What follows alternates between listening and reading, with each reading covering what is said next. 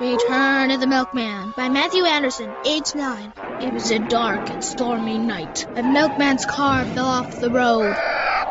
Forty years later, he rose from the dead screaming, Milk! He walked to the store. He walked to the dairy aisle. He took the milk. Two days later, he went to the market when it was open. He went to the service counter. He said, Do you give free refills?